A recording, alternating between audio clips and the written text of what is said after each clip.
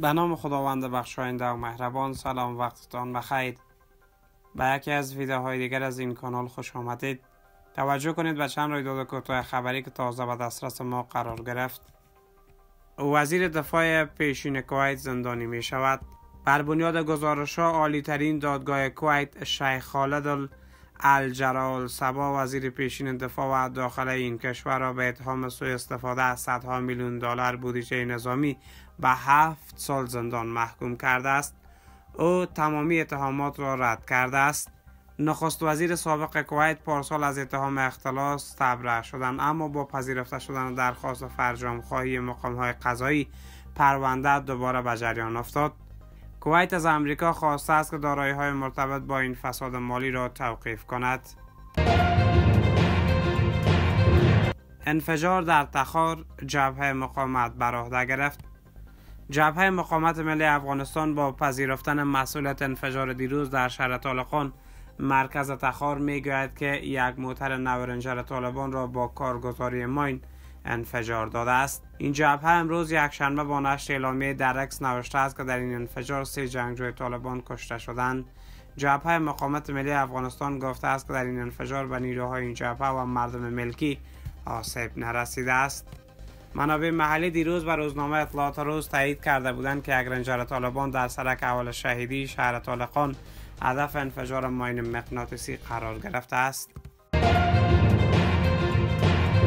مسئولیت تنظیم سیاست داخلی و خارجی به متقی سپرده شد.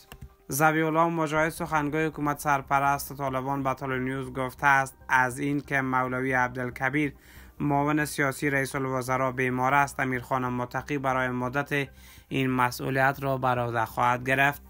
وی گفت دو مورد به وزیر صاحب خارجه سپرده شده بود که پالیسی داخلی و خارجی را تعقیب کنند و پس به بازنگری بفرستند و دیگر کار و فعالیت معاونت سیاسی را رئیس دفترشان پیش ببرند.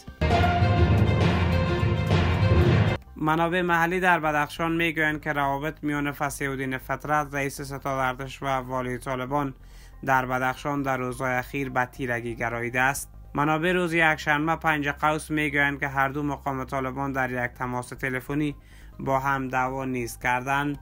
یک منبع معتبر گفته که به دستور ملاعبت الله خانزاده رهبر طالبان اداره استخبارات این گروه و قاری فسیودین فطرت فشارها و محدودیت های بیشتر را وضع کرده و از رفتن او به بدخشان جلوگیری کرده است.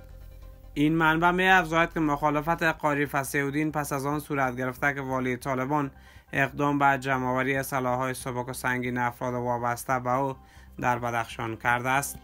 منبع همچنان علاوه کرد که استخبارات طالبان روز پنجشنبه هفته گذشته از سفر فسیودین به بدخشان جلوگیری کرده و پس از آن گروه های مربوط به او و امان در حال آماده باش قرار گرفتند. اختلافات میان گروهی طالبان مورد تازه نیست. پیش از این نیز جنگجویان ارشد این گروه با هم اختلافات داشته و این اختلافات سبب درگیری های نیز شده بود. این منبع می افزاید که مخالفت قاری فسیودین پس از آن صورت گرفته که والی طالبان اقدام به جمعآوری سلاحهای سبک و سنگین افراد وابسته به او در بدخشان کرده است. منبع همچنان علاوه کرده است که استخبارات طالبان پنجشنبه هفته گذشته از سفر فسیودین به بدخشان جلوگیری کرده و پس از آن گروه های مربوط به او و امانالدین در حال آماده باش قرار گرفتند. در آخرین مورد روز گذشته میان افراد مولوی مرزا و ولسوال و ملا مصطفی فرمانده امنی طالبان در ولسوال در ایالات پنجشیر نیز در جریان توزیع کمک های غذایی درگیری رخ داده بود.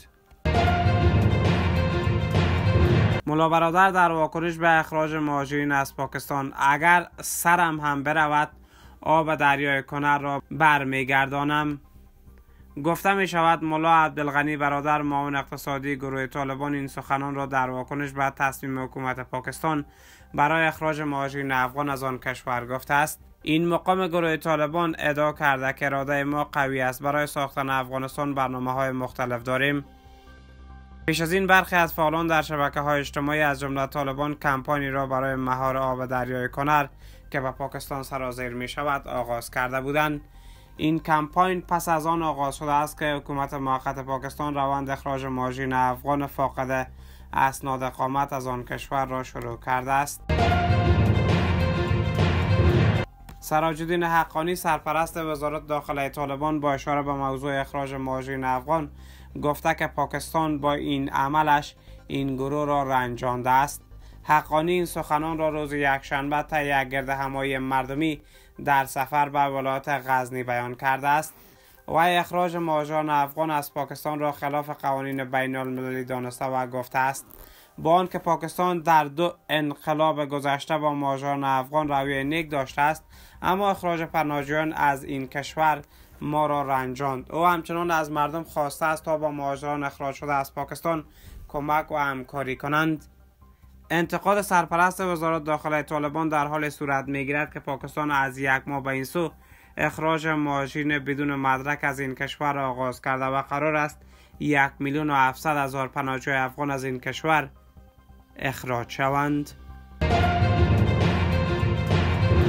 روسیه 20 پهپاد اوکراین را خونسا کرد.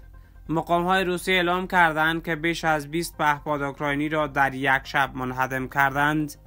به گفته آنها پنج منطقه مورد حمله قرار گرفته بود. مسکو سه منطقه مجاور در جنوب و غرب روسیه تولا کالوکا و اسمولنسک و شهر بیرانسک در مرز اوکراین. گفته می شود در نتیجه این عملات یک نفر دچار جراحت های سطحی شده. چند ساختمان خسارت دیدن و پروازهای دو فرودگاه اصلی مسکو به طور موقت با حالت تعلیق درآمده است. در این حال اوکراین می‌گوید که روسیه نو پهپاد انتحاری به سوی این کشور شلیک کرده است. و در پایان ابوالفضل ابو ترابی یک عضو کمیسیون امور داخلی و شوراهای مجلس نمایندگان ایران گفته است که بر اساس طرح سازماندهی شهروندان خارجی ایرانی هایی که بعد با خارجی غیر مجاز خانه یا شاغل دهند مجازات خواهند شد. او در گفتگو با رسانه ها در تشریح طرح سازماندهی اتباع خارجی بیان کرد. این طرح دارای 103 ماده و تبصره از و همه مسائل مهاجران را در بر می‌گیرد. این عضو کمیسیون امور داخلی و شوراهای مجلس ایران گفته است که یکی از موضوعات مهم در این طرح سازماندهی ایرانیایی است که برای شهروندان خارجی خانه یا کار می‌دهند. هنوز طرح سازماندهی شهروندان خارجی به دلیل اختلاف نظر بین مقامات ایرانی تصویب نشده است. با این حال برخی از نمایندگان مجلس مثل ابوالفضل ابوترابی تلاش می‌کنند آن را تصویب کنند. او افزوده است. ما تا زمان که ایرانی ها را سازماندهی نکنیم نمی‌توانیم اتباع خارجی را نیز سازماندهی کنیم. باید کاملا مشخص شود شخص ایرانی که به اتباع خارجی خانه اجاره داده است چه کسی است و اگر خانه خود را به اتباع غیر مجاز اجاره داد باید مجازات شود. همچنین باید کار فرمای ایرانی که به اتباع خارجی غیر مجاز کار می‌دهد مجازات شود.